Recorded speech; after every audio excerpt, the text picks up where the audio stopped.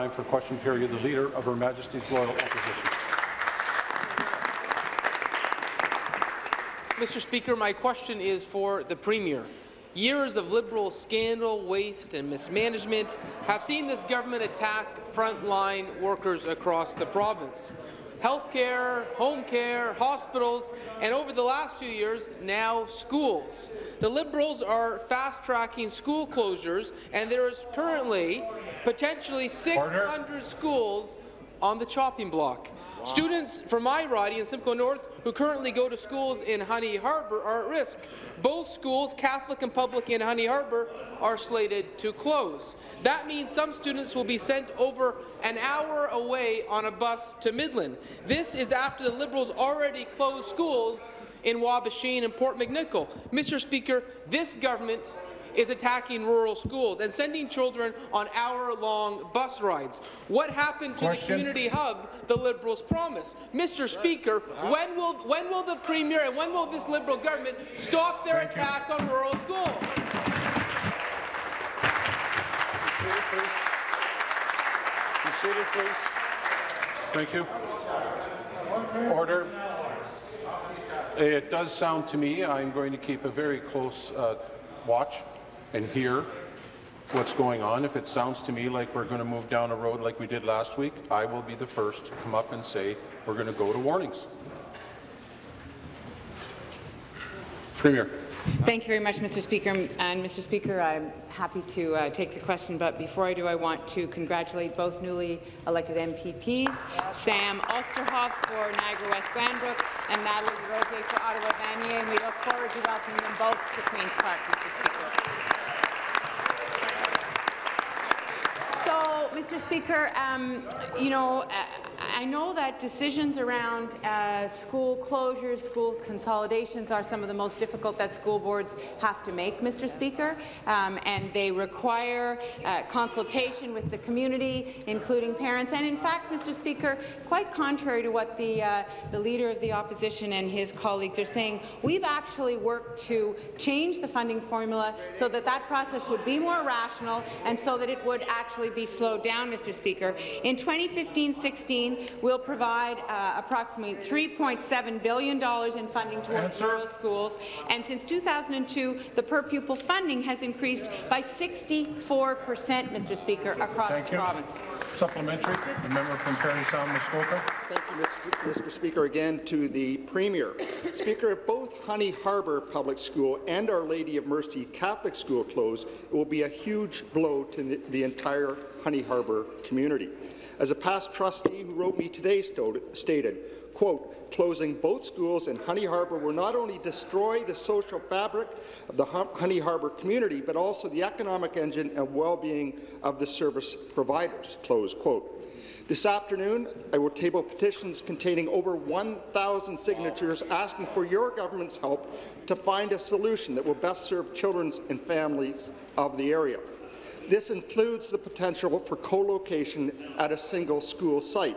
Speaker, will the Premier commit to finding a solution that will help keep a primary school, school open in the town of Honey Harbour? Question. Thank you, Premier. Mr. Speaker, let me just say, um, and I and I want to I want to speak specifically to the issues around co-location and cooperation because that is a very important aspect of this.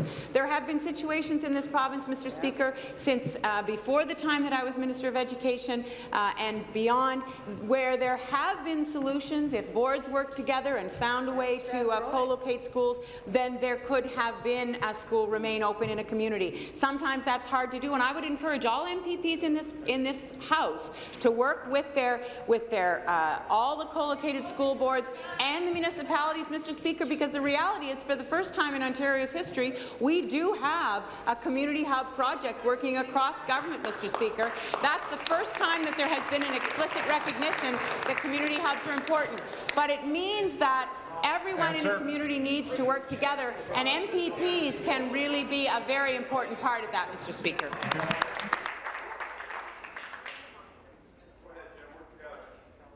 Final supplementary. Thank you and good morning, Speaker. My question is for the Premier. Our vast north covers two-thirds of all of Ontario. There are rural schools spread far and wide. A school with 50 or 80 students is the norm. But when you put these schools under a review, they can never match up with the made-in-South rules and regulations. Our northern schools are small because of the very nature of where they're located. Many towns of four or 5,000 have 100 kilometres between them and the nearest community. These schools will simply not fit into the government's mould. I urge the Premier to follow the steps of our leader, Patrick Brown, who has come to the north and seen what northern communities Order. look like. Will the Premier give northern schools the unique Question. attention they deserve? No, Mr. Speaker, when I was the Minister of Education, I visited a school in Sioux Narrows. I think there were 16 students there, Mr. Speaker. I made the argument that we keep that school open. Mr. Speaker, I'm not going to take lessons from the party opposite on schools, Mr. Speaker. Since 2012-2013, we've increased the annual funding for, uh, for rural boards by 109. All members. Finish, please. $199 million, which is 5.7 percent, Mr. Speaker. That's in the face of declining enrollment. So we're going to continue to work with boards. We understand that there are reviews happening across the province, Mr. Speaker, and we look to the boards and the local communities to work together to find those solutions, Mr. Speaker. But we also have to recognize that students need to have the best learning environments possible where they can get Answer. the programs that they need in every corner of the province, Mr. Speaker. New question, the member from Leeds. Uh, Thanks, Speaker. My question's to the, uh, to the Premier. Speaker, I've written the Minister of Education calling for a moratorium on school closures while we find long-term answers to ensure rural Chief Government students can continue to learn close to home. I was shocked that she told me those solutions won't be found at Queen's Park. It's unacceptable for your minister to sit on the sidelines and leave the future of rural education to a process rigged against these communities. The member from Parent Glengarry, Michelle Taylor Russell. resigned from the Accommodation Review Committee in my riding because she called it highly flawed and undemocratic. None of it inspires confidence, she said. Michelle and others have exposed this process as a smoke and mirrors farce. Speaker, will the Premier put an end to these charades by implementing a moratorium on school closures before it's too late? Question. Now, Mr. Speaker, I know that the, uh, the party opposite does not have a history of believing in or supporting school boards. I actually believe in school boards. I think that school boards play an important role. So, you know, we know, Mr. Speaker, that there are examples of school consolidations where there have been two small schools The member from Leeds, Grenville, come to order.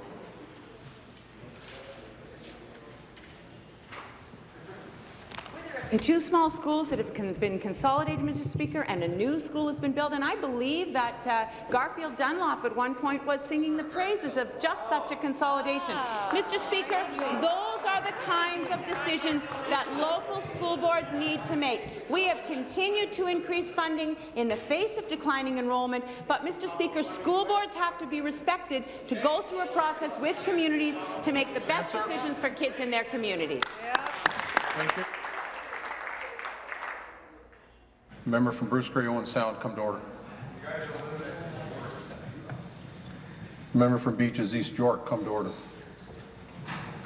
New question, member from Lanark, Frontenac, and Speaker, again to the Premier. It's time for the Premier to take ownership of yet another of her mistakes. Up to 40 schools are slated to close in my riding alone. School closures are not the cause, but a symptom of communities in decline. And that is the true Liberal legacy, the decline of small-town and rural Ontario. Speaker, the Premier's policies, the Premier's economic actions, the Premier's restrictive land use regulations, and skyrocketing hydro rates have suffocated growth and prosperity in rural Ontario. Now, in my riding alone, up to 40 community schools are on the chopping block. Speaker, when will this Liberal government release that fatal grip that they have and allow rural Ontario to breathe, prosper and grow again? Seated, please. Be seated, please. Thank you. Premier, Minister of Education. Minister of Education. Thank you, Speaker. Speaker, we know that schools play a very important role in the social fabric of our communities. And in fact, Mr. Speaker, that is why, when it comes to rural school boards, our government has clearly shown that it understands the needs in rural communities. In 2015-16, we provided approximately $3.7 billion in funding towards rural schools. In fact, Mr. Speaker, that is reflected in our grants for students' needs to ensure that rural communities have that additional support that they need. Since 2002, we've increased per pupil funding by $4,753, 64 percent, Mr. Speaker. And, Mr. Speaker, I've talked to the, um, the chair of the Upper Canada School Board, and Mr. Speaker, they understand Answer. that the status quo is not an option, that they have to look at their schools from a local perspective and what the needs are today and Thank for you. the future. And that's exactly what they're doing. Thank you. Final, final supplementary member Stormont Dundas and self-claim. Thank you, Speaker. To the Premier. The closure of many schools across rural Ontario due to this ministry's ill-conceived funding policies will rip the heart out of many rural communities. If the review, current review continues under the flawed guidelines set in 2015, 20 schools in SD&G, students will have less time to spend with their families, fewer opportunities to participate in extracurricular activities close to home, less sleep and more stress due to overcrowding in the few schools that remain. How hard is it to see that this is a bad deal for students? The ministry strives for higher results, but these schools are already exceeding provincial standards. Will the Premier listen to the people of rural Ontario, impose a moratorium on the flawed pupil accommodation reviews, sit down with school boards, municipalities, and residents to hammer out sustainable rural education strategy that preserves our communities' access to Question. high-quality primary and secondary education close to home?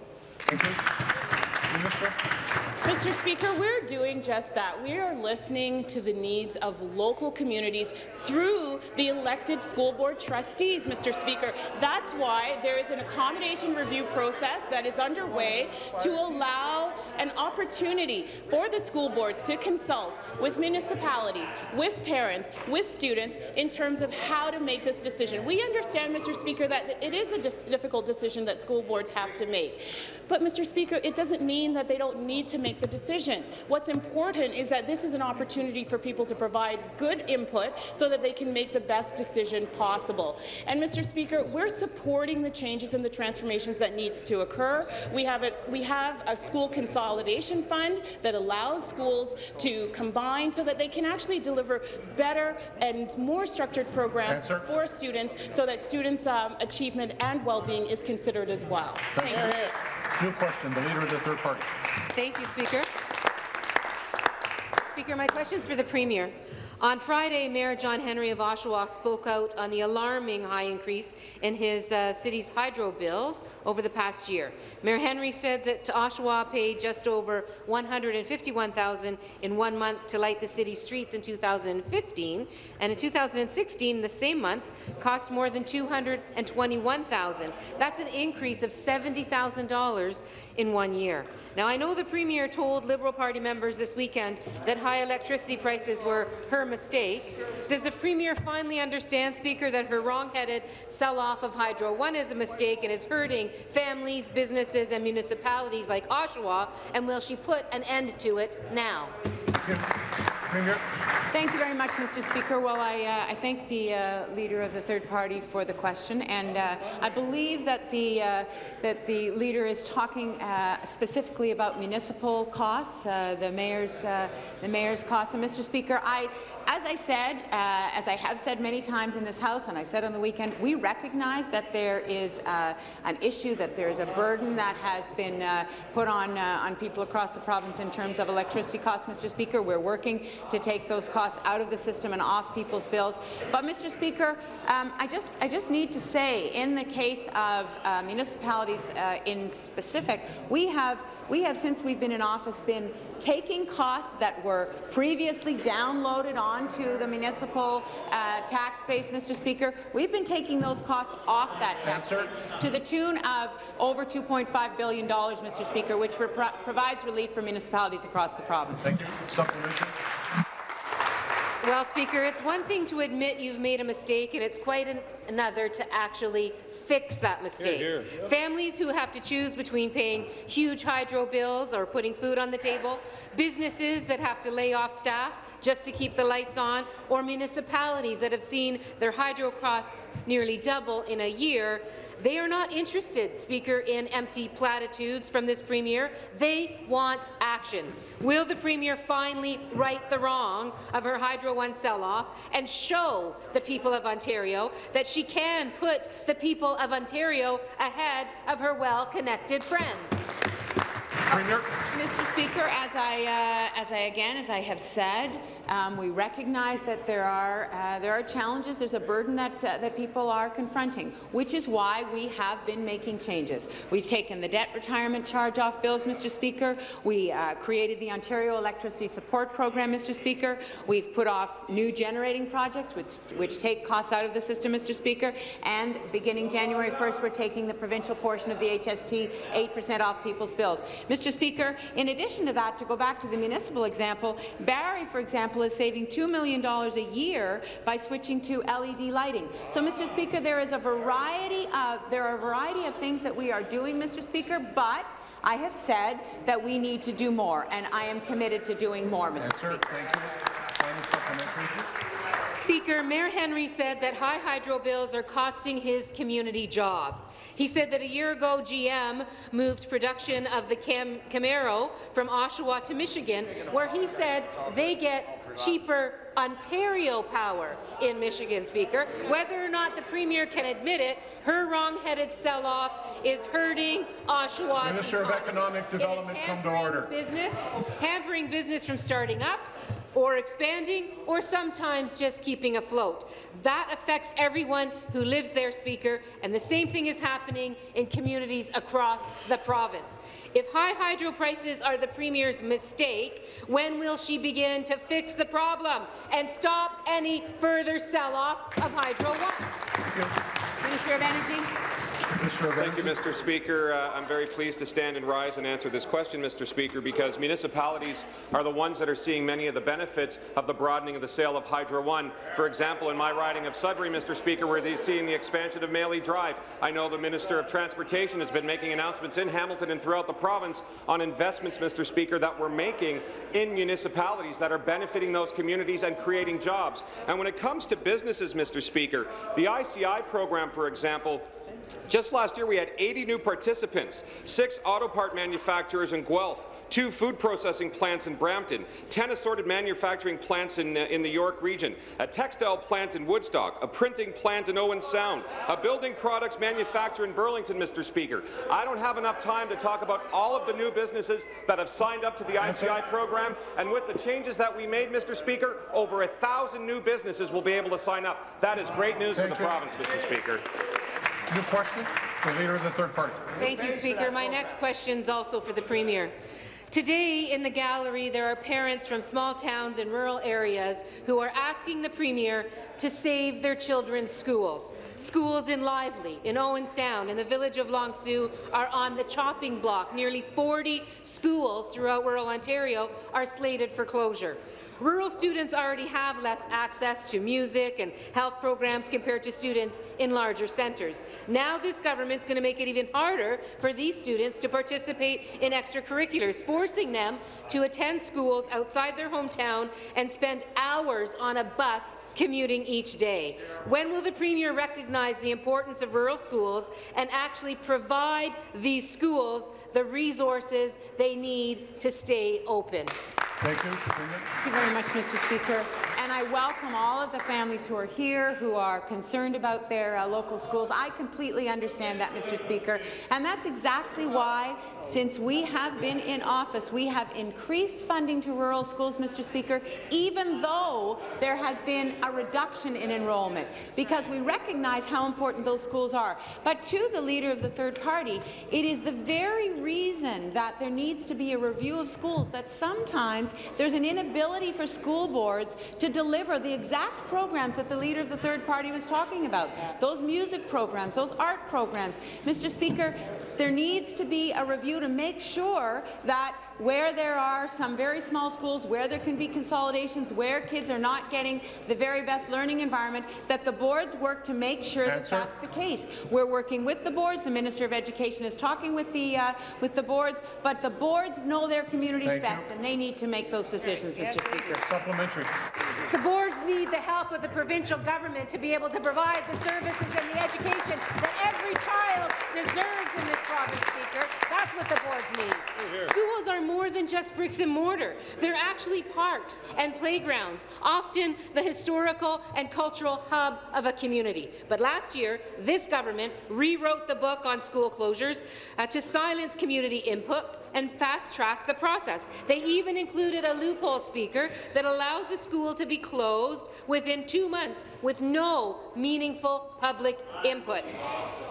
When will this Premier stop forcing this closure of rural and community schools and immediately rewrite the guidelines to give communities a voice in the process? Thank you. Premier. Minister of Education. Minister of Education.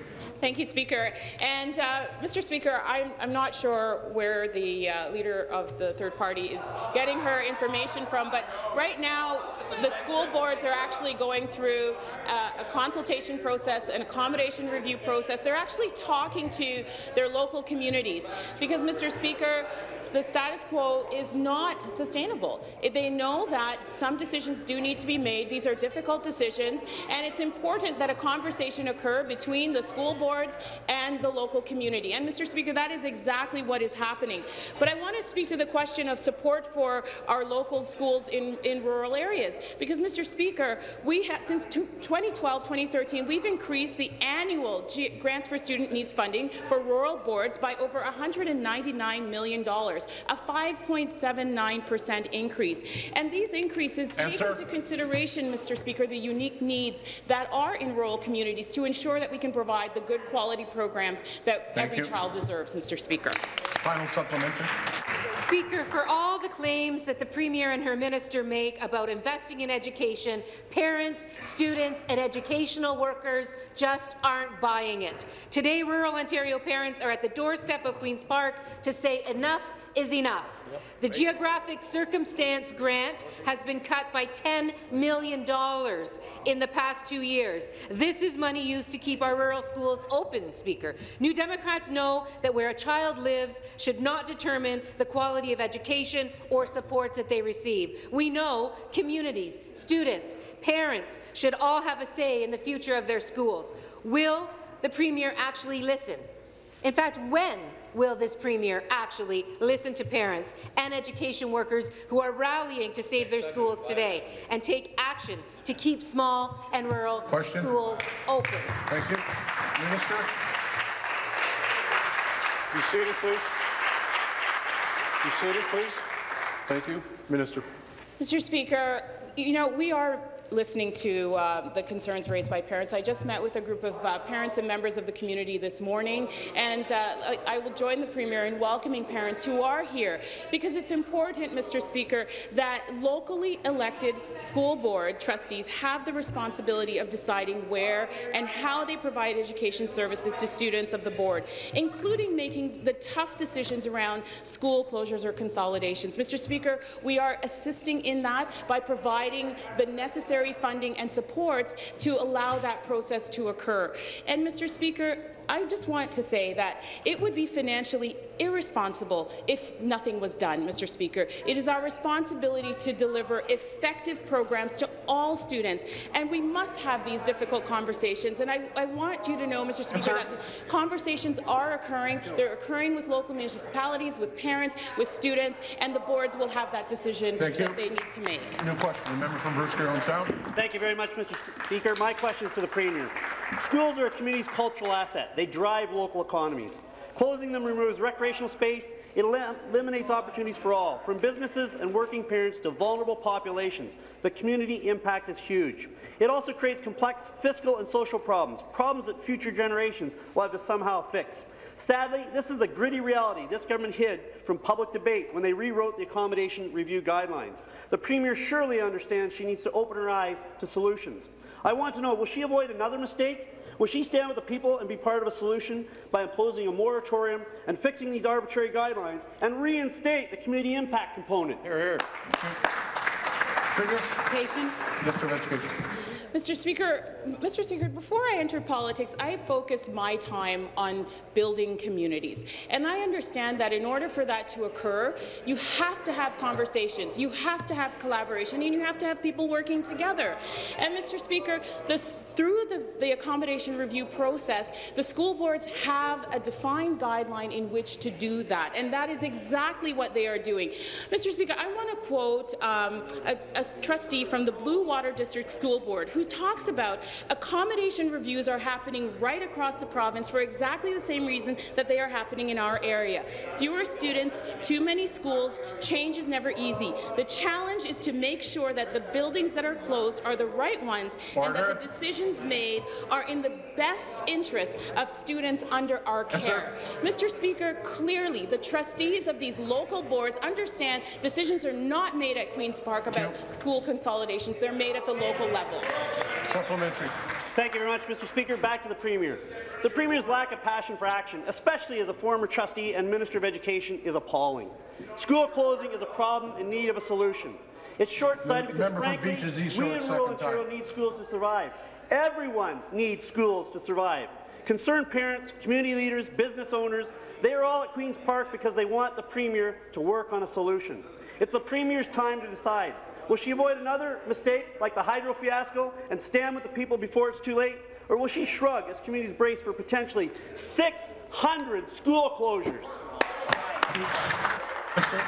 Mr. Speaker, I understand that these are very tough decisions for um, local boards to make, Mr. Speaker, and that's why the decision to close a school when it's under capacity is far from an easy one, and a decision that must be made by trustees at the local level for, for the future of their community.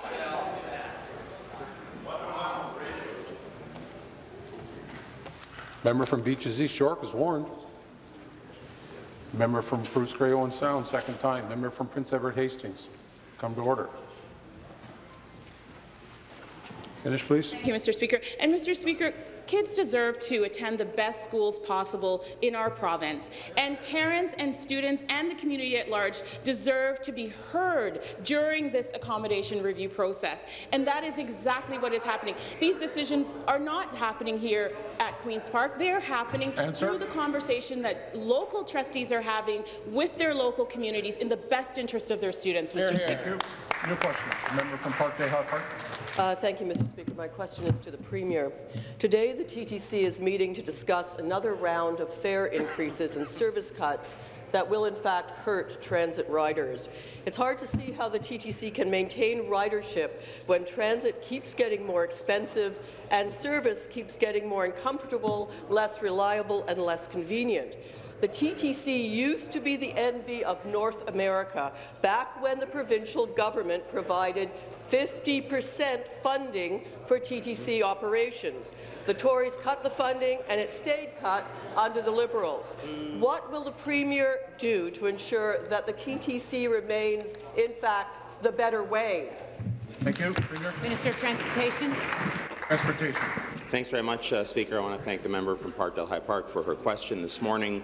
Uh, Speaker, that member would know, every member uh, in the legislature would know that our government, uh, not only in the last couple of years, uh, Speaker, but over the last number of years, has made a significant, uh, significant investment to transit in the City of Toronto and right across the Greater Toronto and Hamilton area, Speaker. Uh, a couple of things to keep in mind. For example, since 2004, uh, the provincial government has provided almost 2 billion, one point, almost $1.8 billion in gas tax funding specifically to the City of Toronto. And in this current year, Speaker, that number is at around $170 million. There is a long list of projects that we provide support to, Speaker, that are so crucial to making sure that the people of Toronto and the people of the entire region have the transit network uh, that they so richly deserve, Speaker. And I'm sure in the follow-up question, I'll have the opportunity to go through some of those crucial projects. Thanks very much. Supplementary. Uh, thank you, Mr. Speaker. Uh, back to the Premier. The Premier, when she was Transportation Minister, forced the TTC to accept Presto, which has been unreliable and extremely expensive. Yeah. She just downloaded transit costs onto Toronto that her government had originally agreed to pay. She has ripped up long-standing transit plans, bringing more chaos and waste, and TTC riders are paying the price. Since she became Premier, the cost of a MetroPass has risen twice as fast as inflation, while service is worse. Instead of downloading more costs to- onto TTC riders, what will the Premier do to make transit affordable and convenient for Toronto riders? Thanks very much, Speaker. I, I, think, I think the most important thing for that member and all members in the House to do, Speaker, is to take a look at the whole picture. Uh, over the last few years and currently, Speaker, here is a here is a uh, here is a list of the projects that are being supported by our Premier and by the Ontario government. So, for example, Speaker, $3.7 billion for GO Regional Express Rail, wow. specifically in the 416 Speaker. $450 million to deliver the Union Pearson Express on time and on budget, $416 million from the province to support the purchase of 200 new streetcars, wow. approximately $8 billion for the Toronto LRT plan, Speaker, including the Crosstown and the Finch. I mentioned the $1.75 billion in gas tax funding, $172 million for the revitalization of Union Station, $150 million to Metrolinx to support the planning of the regional relief line, Speaker, and the list goes on from there. Our Premier and our government will continue to invest Thank in you. transit in Toronto and right across this region. Thank you. Your question, member from Kitchener Centre. Thank you, Speaker. My question is for the Minister of the Environment and Climate Change. The minister was in Marrakesh recently with counterparts from around the globe at the 2016 United Nations Climate Conference. Ontario's participation at the annual conference demonstrates our commitment to tackling the consequences of climate change. Working alongside neighbouring jurisdictions, our government has engaged in both the dialogue and actions needed to protect our environment.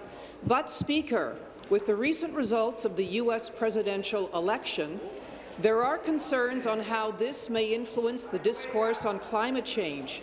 We've relied on partnerships to take on the battle against climate change. It's allowed us to become innovators in the green economy.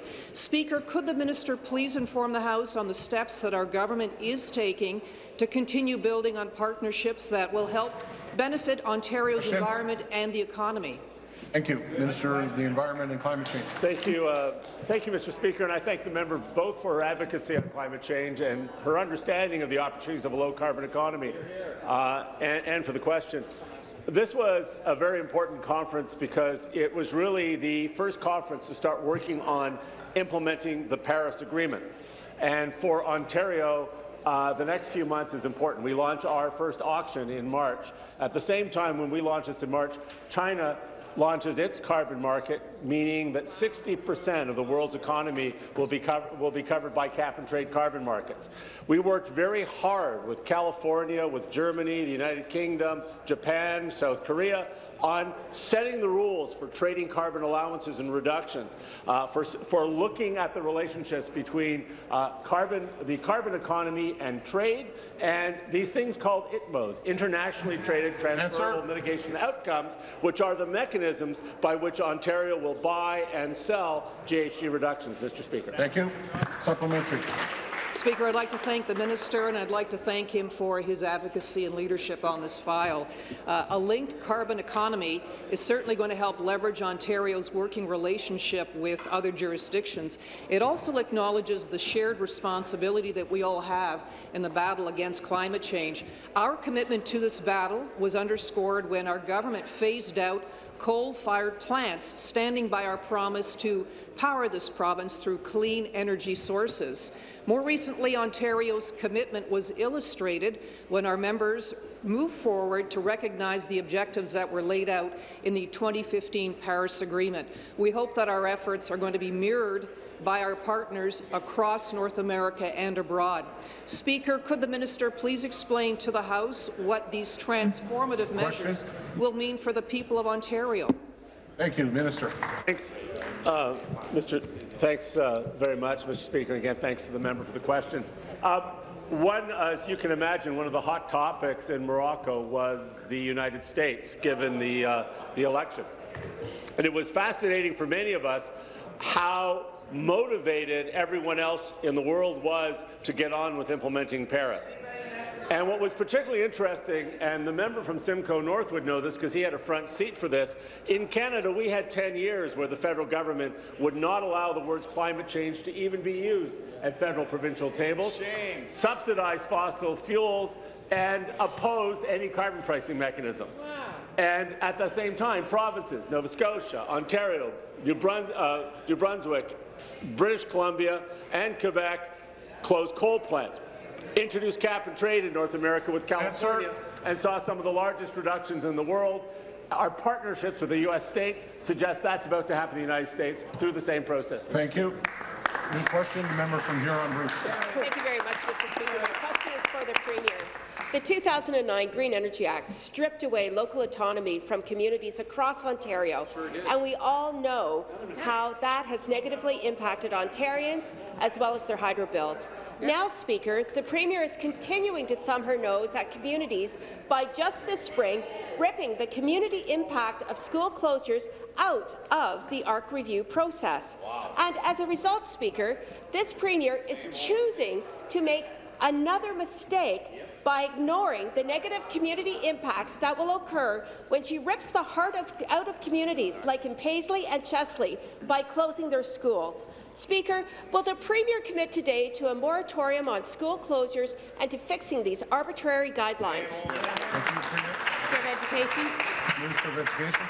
Thank you, Speaker. Speaker, I, I, think that it's important to recognize that the pupil accommodation review guidelines is really giving our school boards, our local school boards, a tool so that they can engage in conversation with the local um, community when a tough decision like closing or consolidating a school has to be made. And you know, Mr. Speaker, I went through this process in my own community, and yes, the conversations were difficult. But what happened at the end of the day is that our students were able to actually move to other locations that had better programming because we were able to provide, take those investments in those savings and provide a, a more diverse um, set of options for students in terms of their programming. So this is all about ensuring that we make the right sets of investments so that our students can get the best learning outcomes possible, Mr. Speaker. And in order to do that, a decision has to be made locally. Supplementary, the member from Haldimand Norfolk. Yes, uh, Speaker, back to the Premier. Strong rural communities need strong schools to remain destinations for business and families.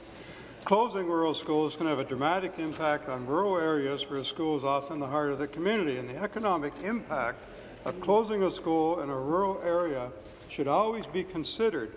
Yet the Ministry of Education, as we understand, has quietly removed the last two criteria of the PARG process that looks at value to community, value to the local economy. People in Ontario have lost their democratic right to have a say in the decisions that affect not only the education of their children, but the survival of the schools and the health of their communities.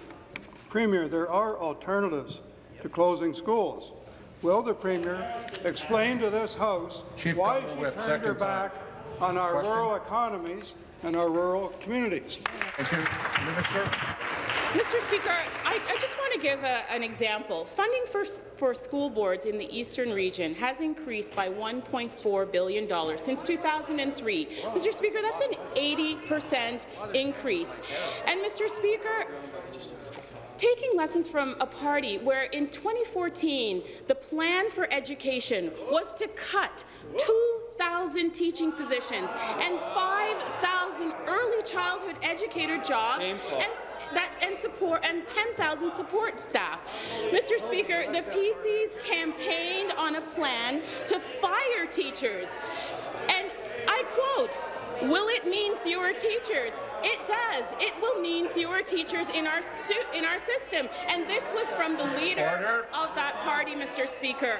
The PC's Shameful. cuts to education meant that Answer. at least 22,000 jobs would be lost in education, and that's not good Thank for you. students, Mr. Speaker. New question. Member from Hamilton Mountain. Thank you, Speaker. Uh, my question is to the Premier. Workers at the Peel Children's Aid Society have been on strike for nine weeks as they try to get the employer to understand that workload caps are necessary so that vulnerable children get the care they need. The employer has been filling the gap with inadequate replacement staff. I have raised these concerns with both the Minister of Children and Youth Services and the Minister of Labour, but the PLCAS refuses to reach an agreement with workers. How long does the Premier plan on letting this continue? Thank you. Minister of Children and Youth Services. For Children and Youth Services. Well, thank you, Mr. Speaker, and I want to thank the member for the question. I know that um, uh, she's a strong advocate for her community and also for children here in the province of Ontario. Uh, Mr. Speaker, as labour negotiations are a matter between the employer and the employee, uh, the member notes that it would be completely inappropriate for me to comment on the specifics of that uh, process. But what I can tell you, Mr. Speaker, is that uh, we want to make sure, and as the minister responsible for children and youth here in the province of Ontario, we want to make sure that there's a plan in place that will ensure that young people um, in care are being protected and, uh, and that they're, uh, they're uh, provided with the opportunities they need to make sure that they're safe while this process goes on. we're hopeful that the union and the employer will do all they can do to reach uh, a conclusion that would be favourable for uh, children in care, and I know that the Minister of Labour in the supplemental will, uh, will want to comment on the process. Thank you. Supplementary. Thank you, Speaker. Back to the Premier. I received a letter from a child in the care of the PLCAS. She is 14 years old and has been in care since she found her mother's dead body in September. This youth is in desperate need of care, counselling and support. Support PLCAS has not been able to provide. She waited hours for a PLCAS supervisor who never came to pick her up. Her school social worker has tried to reach out to the CAS, but has had no response. Children should be at the centre of all decisions. When will this government start putting vulnerable children first? Uh, Mr. Speaker, I. Um... Be seated, please. Thank you. Minister. Uh, Mr. Speaker, um, uh, I just want to say uh, to the member opposite that, um, you know, again, I appreciate her, her question. I appreciate her role as the critic to this ministry. Um, but she knows that uh, we have been doing everything we possibly can when it comes to uh, protection of children here in the province of Ontario to make sure that we build a pathway that allows for young people uh, to, to find uh, protected homes and, uh, and guardians and place them back into families. We're changing the way we're doing things uh, when it comes to child protection in the province of Ontario. And we need her, I think we need the member opposite and all members of the legislature here to work with us to, to make sure that children are, are are set up for success. In this particular case, and I would uh, I would suggest to the uh, to the, the member opposite, if there's a if there's concerns that come forward, uh, individual concerns from people in her community or uh, any community across uh, the province of Ontario, if she talks to me directly, uh, we can make sure that those particular concerns are addressed. Thank you. Thank, thanks very much, Speaker. My question is to the Minister of Government and Consumer Services. Minister, I hold a monthly Seniors Advisory Group meeting in my riding of Etobicoke Centre, and when I started having those meetings, I started to hear about the issues you would expect. I heard about health care, I heard about transportation, I heard about pocketbook issues, but I also began hearing from seniors who had been the victims or knew someone who'd been the victim of a door-to-door -door sales scam, That's where right. salespeople use coercive, aggressive, or misleading tactics to entice people to sign contracts, to take advantage of them right at their very doorsteps, right in their very own home. It is beyond reprehensible to me that some organizations have a business model based on taking advantage of vulnerable people, and we have to take action to protect Ontarians. Minister, earlier this month, I had the privilege of joining you and the member from Trinity Spadina to announce proposed changes through the uh, Putting Consumers First Act. One of the proposed changes in the legislation is to ban unsolicited door-to-door -door sales of certain home appliances, such as water heaters, furnaces, air conditioners, and water filters. Minister, could you inform the House how these changes will protect vulnerable consumers? Great question. Thank you. Minister. Mr. Speaker, I want to say thank you to the member from uh, Etobicoke Centre for the question, but particularly his initiative in this long-standing consumer protection issue. We've heard Ontarians' concerns regarding door-to-door sales and are now acting upon them. The proposed legislation will prohibit unsolicited door-to-door sales of some products and services, such as those the member just mentioned. Mr. Speaker, should these rules be violated, the contract would then be void. This means that consumers would no longer have to pay for the product, and if they choose, would be able to keep it as well. It's time we better protect consumers at their front door and in their homes. Mr. Speaker, our government is dedicated to providing people's hard-earned money, which is why we are moving forward Answer. with the proposed changes. Good answer. Supplementary. Thank you, Minister, for providing those details. And this is really exciting news. I really thank you for your work on this important issue. You know, thousands of my constituents in Etobicoke Centre have been approached by unscrupulous door-to-door salespeople. They dupe them into contracts that are more expensive than industry standards, that have harsh cancellation fees, and that provide inferior products and services that don't work or that don't perform as advertised. I cannot tell you how many seniors I have spoken to who now have to pay money they should have never had to spend for a furnace, an air conditioner, or another product that they never even needed. While this is an issue that cuts across all ages and backgrounds, it's alarming to me to see how often they target seniors or other vulnerable consumers. It's unacceptable. The changes you described will certainly help protect Ontarians from these practices. And, Minister, could you provide further detail regarding your plan to protect consumers from aggressive door-to-door sales practices? Question. Thank you. Minister. Thank you again to the member, and I have to say for his great advocacy on this role, and particularly for our seniors in Ontario. Mr. Speaker, if the proposed legislation is passed, my ministry will further analyze areas of consumer complaints to determine which products and services will be affected by the ban. It also, it's also important to balance consumer protection with fairness to businesses that use good practice and operate with consumer protection law in mind. The proposed legislation will still allow consumer customer-initiated contracts. And, Mr. Speaker, consumers would be granted a 10-day cooling-off period for any contract signed in their own home. This allows people to carefully consider and be confident with any giving purchase. And, Mr. Speaker, our goal is to help Ontarians make informed choices in a fair and safe marketplace. Merci. New question, the member from Kitchener-Conestoga. Yes, uh, thanks, uh, Speaker. My question is to the Premier. Uh, Speaker, parents of children attending St. Agatha Catholic School got a surprise on the last day of school in June with board notices indicating they were being thrown into another accommodation review process. Surprised because not only did the notice cause speculation as to what happened to the recommendation of the last ARC review for a new school in the area, but even more so because that review only concluded two years ago. Turns out that while parents awaited news on the new school request, the ministry was busy changing the rules of the game, scrapping the once-in-a-five-year period rule to allow accommodation review anytime the school board wants to. If at first you don't succeed, just change the rules and try again. Will the Premier explain if giving boards the tools to rapidly rid themselves of rural schools was part of the ministry plan Question. all along? Mr. Speaker, you know, I understand that this is a, a, challenging issue for communities, which is why, Mr. Speaker, we have continued to increase uh, funding to rural schools, even though uh, most of the boards in the province, Mr. Speaker, have seen declining enrollment.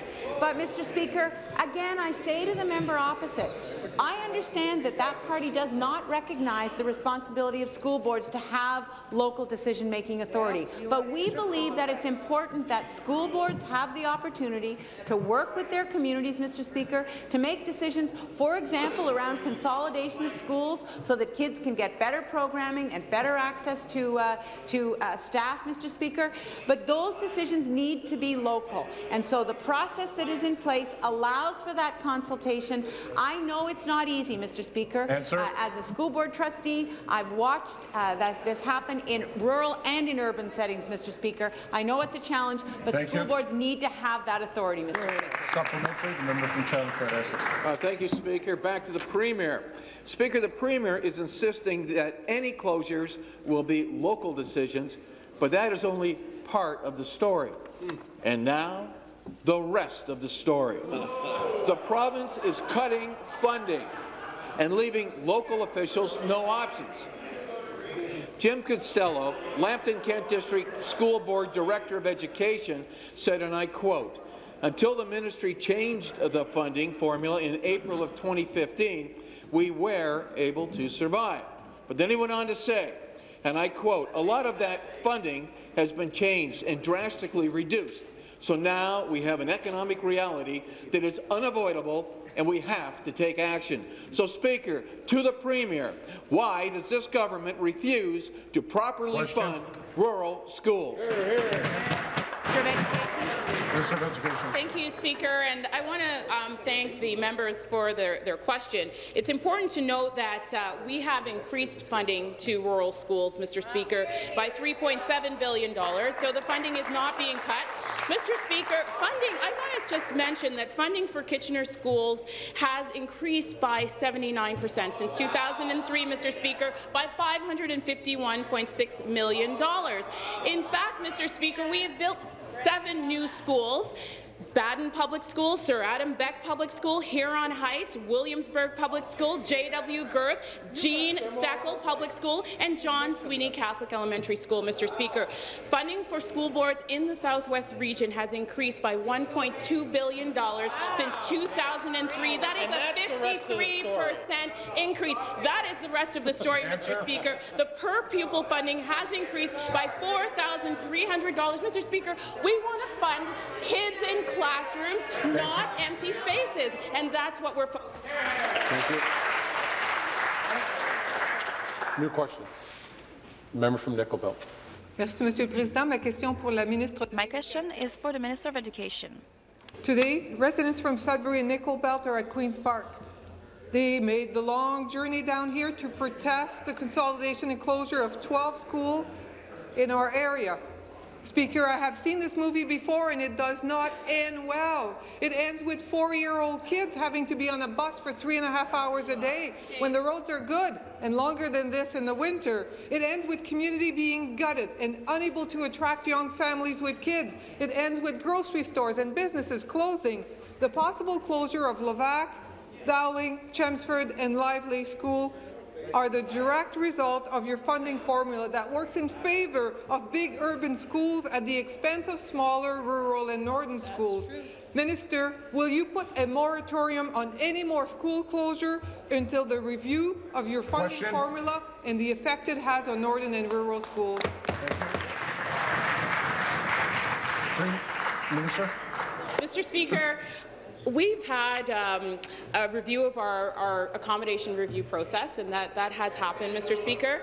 And um, and it's important, and it's important that we respect the role of the local trustees, Mr. Speaker. These decisions are not being made at Queens Park; they are being made by the locally elected school board trustee in consultation with parents, with students, with municipalities, and with their local communities, Mr. Speaker. And we need to allow that process to unfold. And, Mr. Speaker, since um, the question regarding the uh, funding for rural schools, it's important to note that since 2012-13, we've increased the annual grants for students' needs funding for rural school boards by over $199 million, and this is despite declining enrollments, Mr. Speaker. So there is more money that is being invested in students in classrooms than in empty classrooms, Mr. Speaker. That is not something that we want to see sustained. We want that funding to go towards our children's education, Mr. Speaker. Thank you. Supplementary. Thank you, Speaker. I have gone to see the ministers at least four times about this review. She promised follow-up, but none came. I hand-delivered her a letter from three municipal councillors wanting to meet with her, but no response. I handed her financial analysis showing great discrepancy, and still no follow-up. Meanwhile, the kids in my riding in Geneva Lake will have to be on a bus for three and a half hour minimum if Levack and Dowling School closes. It's hard to imagine how can a four and a five-year-old learn after they spend so long on the bus. It's hard to leave and come home from school in the dark. It's hard to when you can't participate in school sport and activities because you spend so much time on a bus. Minister, I ask you again, Question? will you put a moratorium on any school closure until the full effect are known for the community and your funding formula is reviewed? Minister. Mr. Speaker, you know, the member opposite knows that, uh, yes, we've had conversations, and I'm engaged with her in, um, in the discussion that is underway and with members of her community. But, Mr. Speaker, these decisions have not been made. These decisions are in a process, Mr. Speaker, and that process requires input, which is exactly what is happening. It would be financially irresponsible, Mr. Speaker, for a school board to do nothing in the face of declining enrollment, and they need to provide those uh, valuable dollars in education for programming for students, Mr. Speaker. So it's important that municipalities have input, that parents have input, that students have input uh, to these decisions. And that is exactly what is happening through the accommodation review process that is in place, Mr. Speaker. And we have helped school boards to pursue Answer. consolidations by providing $750 million for school consolidation funds so that they can Thank make you. decisions locally, Mr. Speaker. New question, the member from Kingston and the Islands. Mr. Speaker, my question is for the Minister of International Trade. Our government's decision to turn international trade into a standalone ministry has been well received in the business community, including my riding of Kingston and the Islands. This past week, the minister, along with the Minister of Agriculture, Food and Rural Affairs, returned from yet another successful trade mission to India, a growing hub for domestic and financial markets. Collaboration between these two ministries is integral to the agri-food industry as a long-term pillar of our province's economy. I know that the minister has worked tirelessly to bolster the services available to Ontario's companies so that they may be well positioned to enter markets like India and be at an export advantage. Speaker, could the minister please provide the House with an update on the results of his most recent trip to India and expand upon the growth opportunities available Thank to you. Ontario's businesses? For international trade.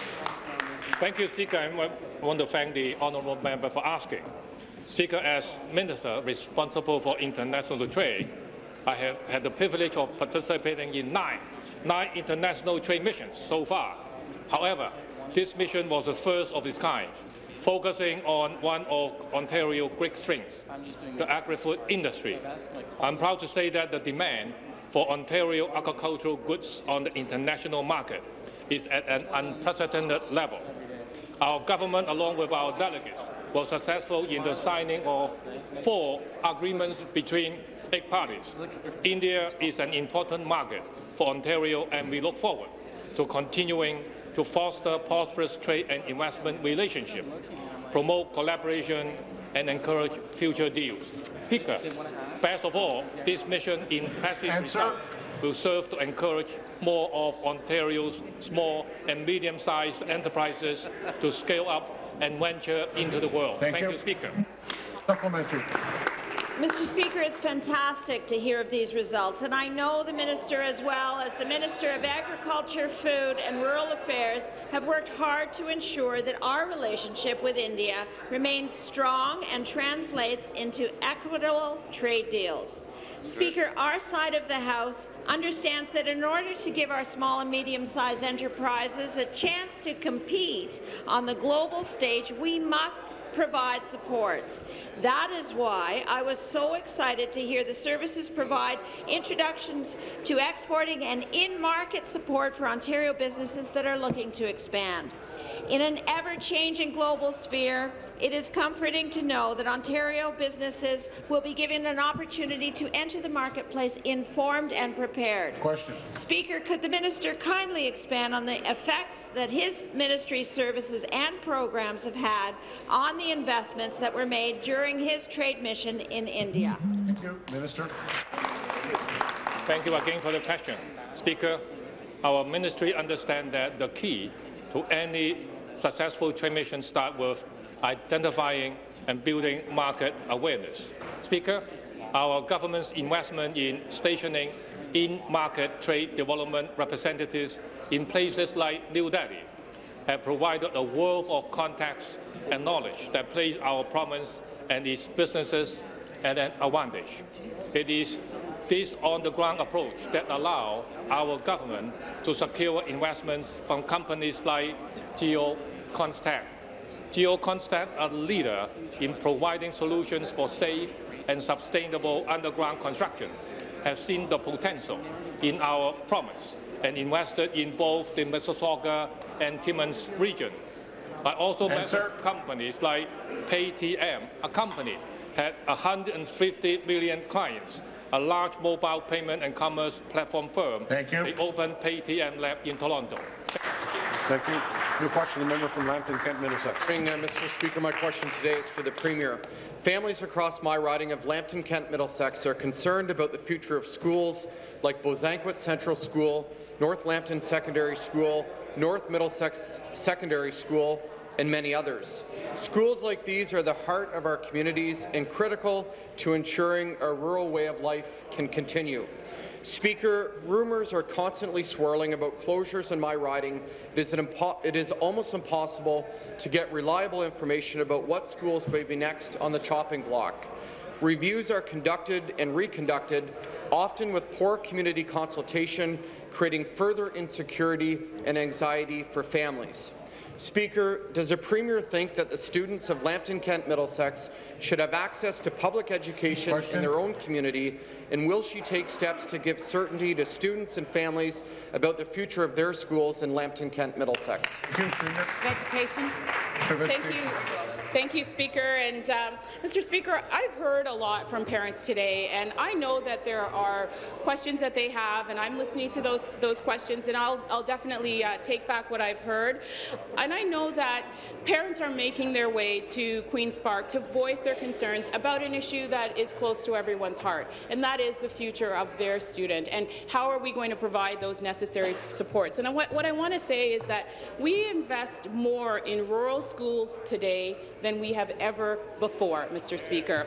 That this process in, that we have for the accommodation review enables more student dollars to stay in classrooms where there are students and be upfront with those uh, student programs so that they can have a better experience in their local schools, Mr. Speaker.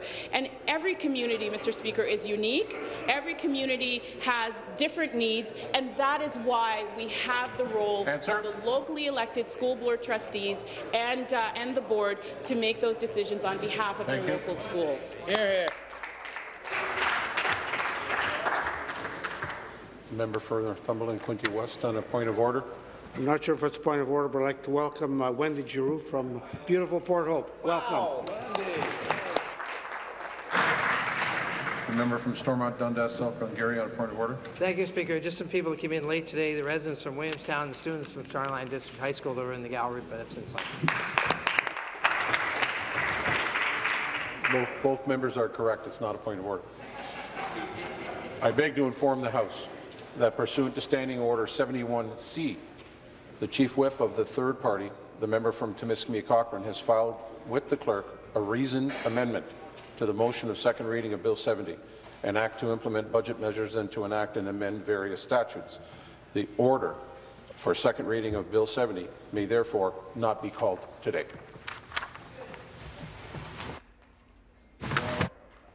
There are no there are no deferred votes. Therefore, this House stands recessed until 1 p.m. this afternoon.